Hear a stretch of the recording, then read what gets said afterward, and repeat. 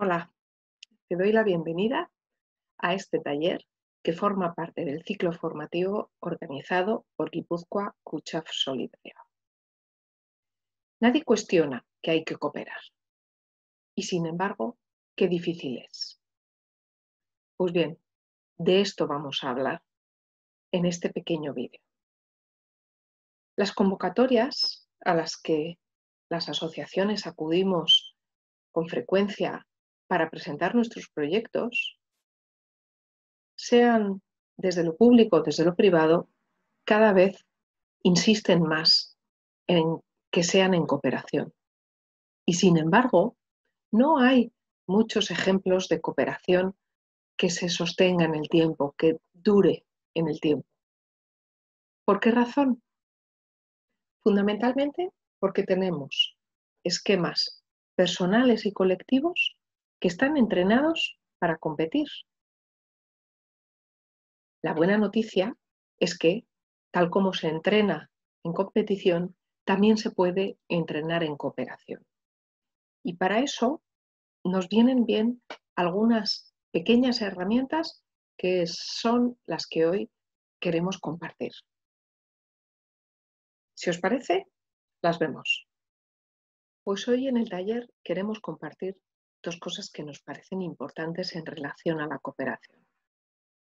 La primera es distinguir entre los tres conceptos que más se utilizan alrededor de la cooperación y que a nuestro entender se utilizan sin hacer una distinción entre ellos.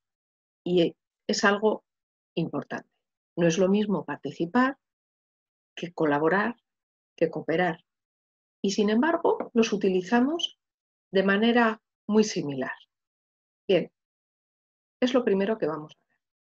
Lo segundo que vamos a ver es algunos requerimientos que tiene tanto el proceso como la actitud personal para que la cooperación sea realmente eficaz.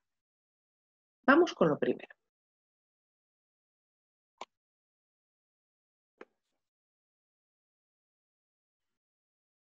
Los niveles de vinculación entre personas, departamentos, organizaciones o colectivos pueden ser de muy diverso tipo, desde el desconocimiento mutuo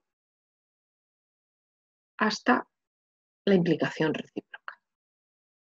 Como veis en este listado, que va desde lo más improductivo y nocivo a abajo lo que más aporta y beneficia, hay, bueno, cuatro niveles, el desconocimiento mutuo, la separación, el conflicto, el alejamiento, la independencia, que realmente no nos aportan.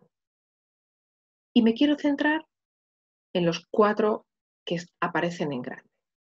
Participación, colaboración, cooperación e implicación recíproca.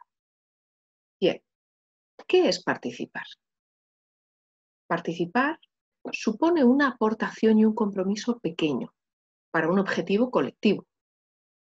El día que vamos a votar, efectivamente, vamos con nuestro voto, lo metemos en la urna y nos marchamos. El objetivo colectivo es la democracia, pero mi aportación y mi compromiso ha sido mi voto, dedicar un ratito de un día a llevar mi voto. Luego tenemos la colaboración.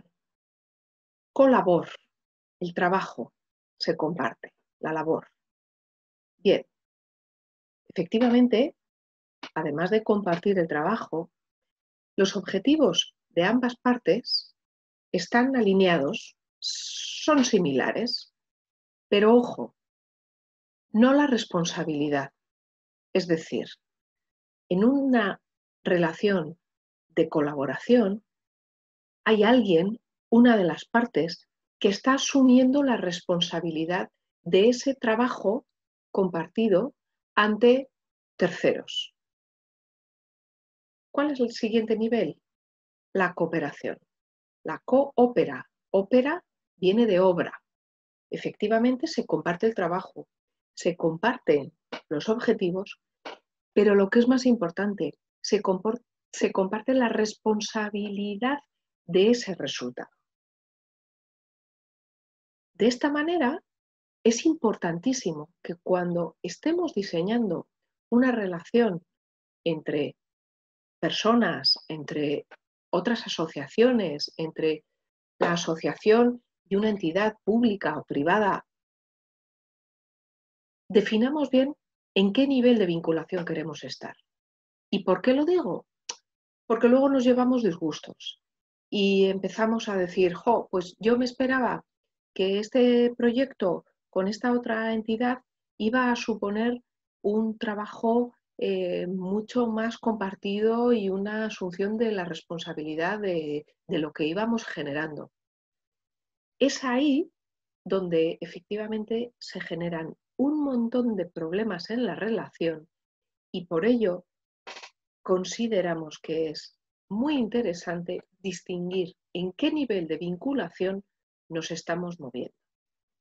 No pasa nada si efectivamente yo no estoy en disposición de responsabilizarme de cuestiones, pero lo tengo que decir. Tengo que decir, mira, yo puedo colaborar en este proyecto en estas cuestiones, pero no me pidas que asuma ciertas responsabilidades porque no tengo tiempo, porque no tengo recursos, por la razón que sea. Veréis que no he hablado del último, del más beneficioso y del que más aporta es la implicación recíproca. Este es un caso curioso, porque realmente en la implicación recíproca los objetivos son particulares, es decir, cada entidad, cada departamento, cada asociación, cada persona tiene sus objetivos.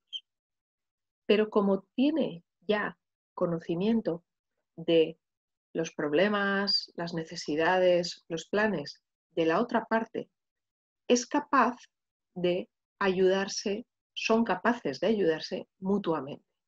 De manera que, si bien no se comparten los objetivos, sí que hay una ayuda, hay una reciprocidad en la vinculación. Este último estadio lo que tiene es eh, que no se consigue de un día para otro. Tienes que haber trabajado en participación, colaboración, cooperación en alguno de esos niveles lo suficientemente como para que efectivamente llegues a tener una relación de implicación recíproca. Pero, insisto, es muy importante que desde las asociaciones en Guipúzcoa distingamos estos niveles de vinculación y los utilicemos con propiedad. Porque si no, insisto de nuevo en la idea, nos llevamos disgustos, eh, hay expectativas no cumplidas y se puede eh, enrarecer mucho las relaciones. Es importante hablar claro y es importante manejar un vocabulario compartido.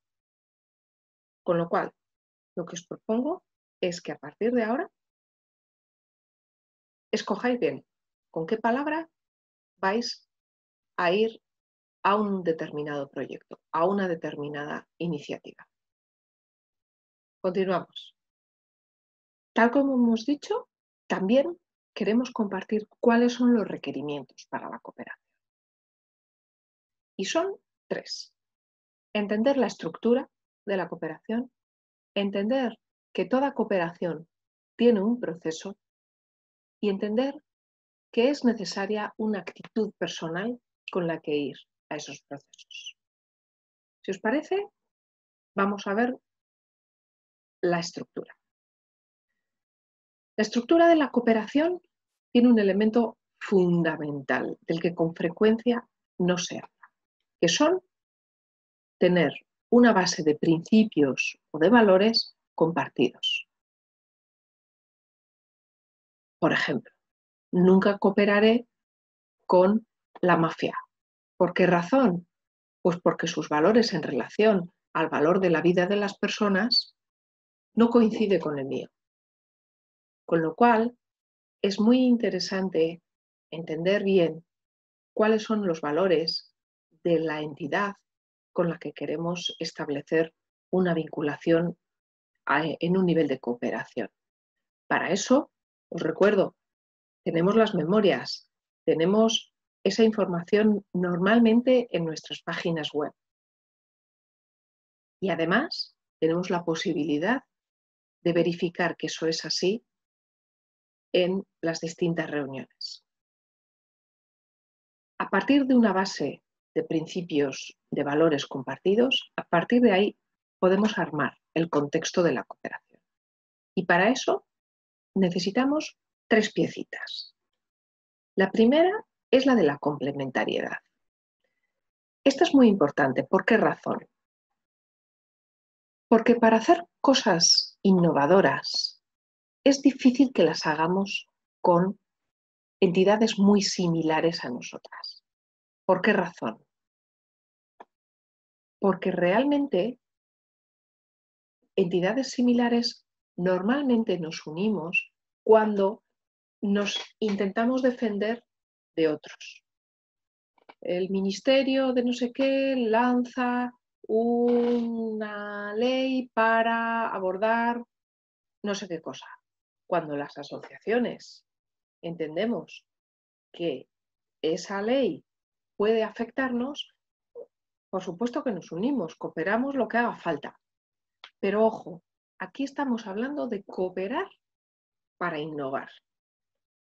Es por eso que aquí es imprescindible ser complementario, con lo cual estará muy bien que la cooperación la armemos entidades que tenemos un, un cierto recorrido en lo tecnológico con aquellas que tienen un cierto recorrido en lo social y que hibridemos lo que unas y otras sabemos. La otra piecita es la confianza. Ya sabéis que hay un dicho, que la confianza viene a, pie y se marcha a caballo. Creo que es muy ilustrativo de cuánto cuesta generar una relación de confianza y qué rápidamente la confianza puede desaparecer. Sobre confianza hablaré en el momento en el que hable de la actitud personal. Y por último, la tercera piecita son los intereses. ¿A qué me refiero con intereses? Los intereses son lo que a cada persona, entidad, departamento, organización le mueve. Preguntarse por qué se quiere esa cooperación. Por ejemplo, la posibilidad de que haya tecnología en las entidades del tercer sector es un interés que a APTES le mueve. Es importante que en la cooperación haya espacios en los que con honestidad se compartan cuáles son los intereses de cada parte. Con esas tres piezas podemos armar un proyecto, una iniciativa. Hay que tener muy en cuenta que esta iniciativa tiene que tener un cierto orden, que son lo que hemos querido reflejar con esta diapositiva, unas ciertas reglas. La primera, los dos elementos indispensables le hemos llamado ingredientes, son la complementariedad y la confianza. La base de la pirámide junto a, los valores y principios. Y la segunda son los intereses, que haya el espacio para poder expresarlos. ¿Qué es lo que nos puede pasar? Que un, determinado proyecto, un determinado, eh, una determinada iniciativa eh, con varias entidades alrededor de la mesa, bueno, pues efectivamente cubra los intereses mm, en muy buena parte de una de las entidades. O de dos de las entidades, pero de otras dos, bueno, pues muy poquito. Bueno, es indispensable que el diseño de la iniciativa o del proyecto que finalmente se impulse cubra al menos el 60% de los intereses de todas las personas, departamentos, organizaciones que estén alrededor de ese proyecto. ¿Por qué razón? Porque si no hay un suficiente interés por parte de todas las entidades, se asistirá a la primera reunión, se estará en la segunda reunión, pero lo más probable es que en la tercera reunión ya haya entidades que tengan cosas mucho más importantes o más urgentes para hacer y no, lo y no, y no participen en ella. Con lo cual, que es lo que quiero mostrar en este cuadrito, es muy posible que el primer borrador de proyecto, que tal como veis aquí, bueno, pues para la primera persona u organización, pues cubren un 20% sus, sus intereses. Y fijaros, para el caso del proyecto 1, en el caso de la organización o persona 3, cubre un 80%. Vale, pues es que la, la, la 1 se nos va a descolgar rápidamente. De ahí que sea interesante ser muy, muy creativas como organizaciones para buscar el diseño de iniciativa de proyecto que cubre, insisto, al menos el 60% de los intereses de cada parte. ¿Por qué el 60%? No tengo ningún estudio académico con el que eh, confirmar que ese es el número mágico. Intuitivamente, lo que nos parece es que ese 60% tiene que servir como un poco línea roja, ¿vale? Pues además de la estructura, ya habíamos dicho que toda cooperación eficaz requiere de un proceso y de una actitud personal. Vamos a empezar por el proceso.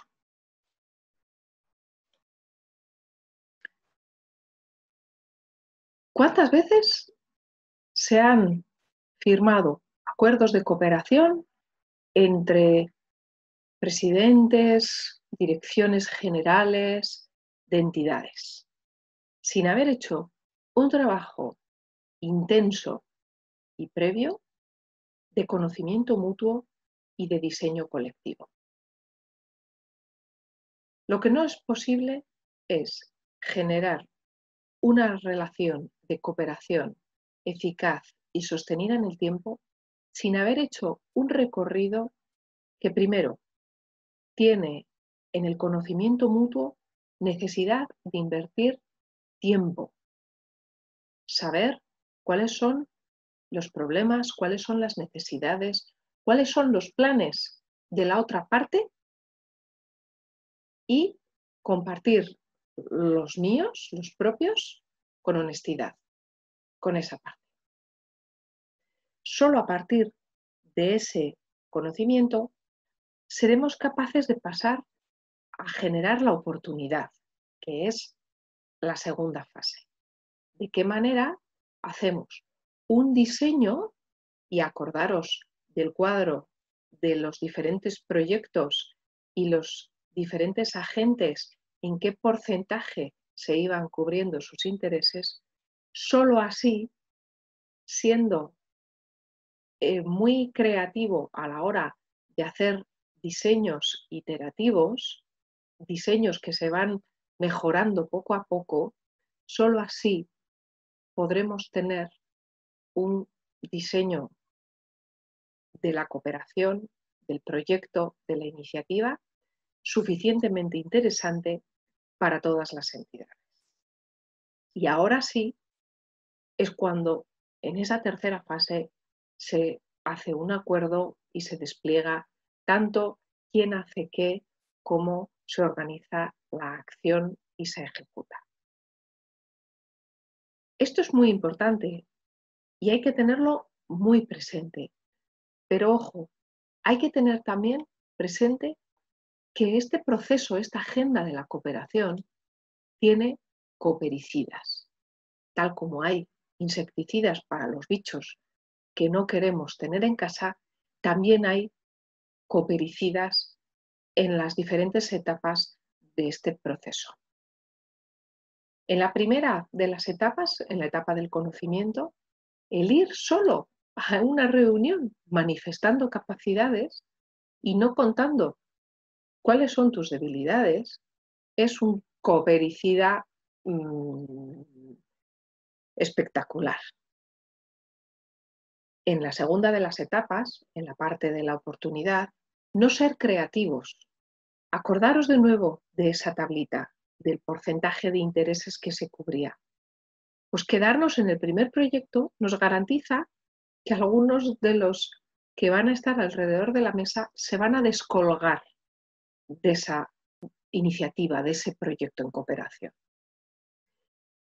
En, el último, en la última etapa, en la etapa de acuerdo y despliegue, repartir el poder con, un dominio de, una de las partes eh, excesivo es algo que desde luego hace eh, todo lo posible para que esa cooperación no llegue a buen puerto. Con lo cual, acordaros siempre de los coopericidas. Intentar no llevar coopericidas a iniciativas que se pretenden sean en cooperación. En Aptes hemos generado una herramienta muy sencilla con algo más de 100 preguntas en Excel a modo de lista para chequear una relación de cooperación. Nos parece muy importante hacerse preguntas en cada etapa del proceso. Y aunque no las vamos a ver en este vídeo porque excedería el tiempo que tenemos disponible, sabed que la tenéis disponible en la web de Guipúzcoa Cucha Solidario A. Es un Excel y puede ser una herramienta fantástica de trabajo para vuestra organización. Tal como hemos dicho hasta ahora, la cooperación, además del proceso, también requiere de una actitud. La buena noticia es que la actitud se puede entrenar.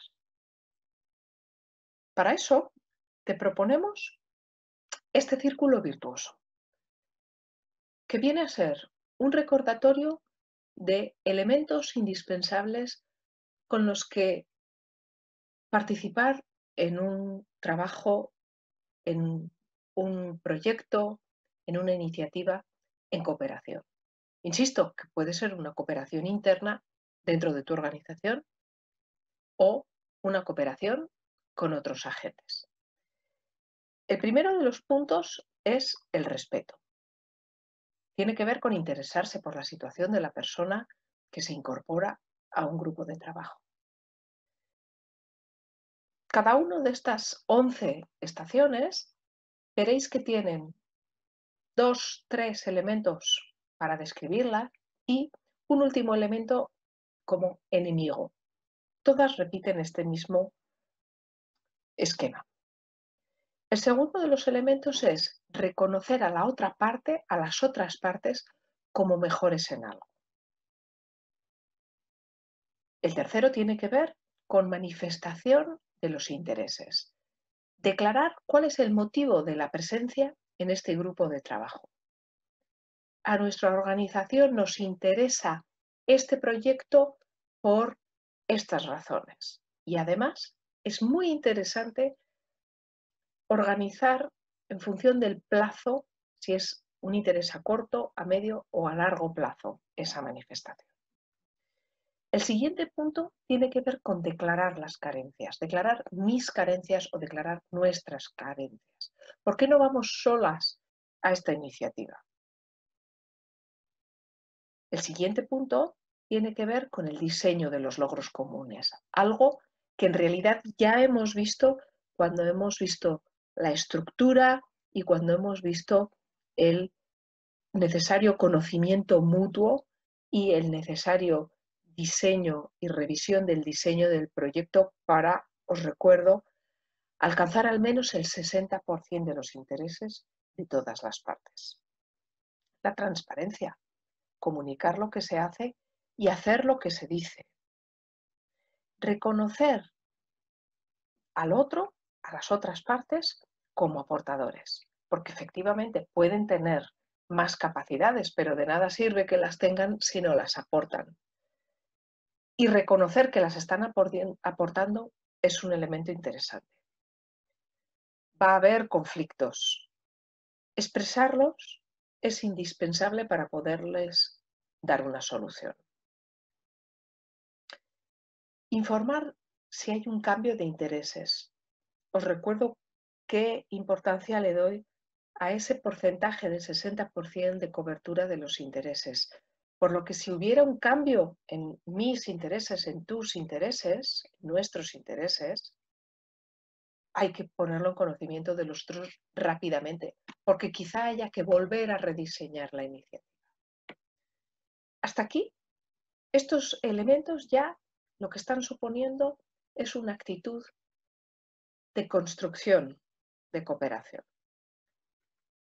Pero queremos aumentar la confianza y para eso necesitamos compartir emociones, expresar emociones.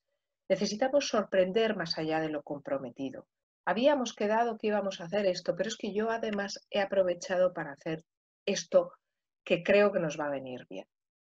De esta manera aumenta la confianza. Y por último, llegamos a la implicación recíproca, ese nivel máximo de vinculación del que hemos hablado al principio de todo cuando hacíamos la distinción entre participación, colaboración y cooperación. De alguna manera, la implicación recíproca supone crear una amistad emocional e intelectual y supone el grado máximo de vinculación. Y ahora me diréis, vale, ¿y cómo hacemos? ¿Vamos con este círculo virtuoso a la próxima reunión que tengamos, bien dentro del equipo interno, bien con otros compañeros, con otras entidades, para hacer un proyecto en cooperación? Bueno, es difícil ir punto por punto. Yo lo que os invito es a que en cada reunión que tengáis en los próximos en las próximas semanas, en los próximos meses, incorporéis en el orden del día algunos de estos elementos. A mí me parecen esenciales los cuatro primeros. intentar meter en el orden del día uno de estos puntos no supone un gran trastorno y supone ir generando una dinámica distinta. Hacer una pequeña ronda, por ejemplo, de reconocer a los otros en qué son mejores es algo que puede resultar de mucho interés. Eso, por ejemplo, pero pueden ser algunas de las otras cuestiones. Muy bien, ha llegado el momento de que experimentemos lo que hemos aprendido. Os voy a pedir que penséis en dos experiencias de cooperación en vuestras entidades. Puede ser cooperación interna o cooperación externa con un tercero. Piensa en una que sea positiva e identifica qué elementos del proceso y de la actitud personal ha habido en esa cooperación para que sea un éxito.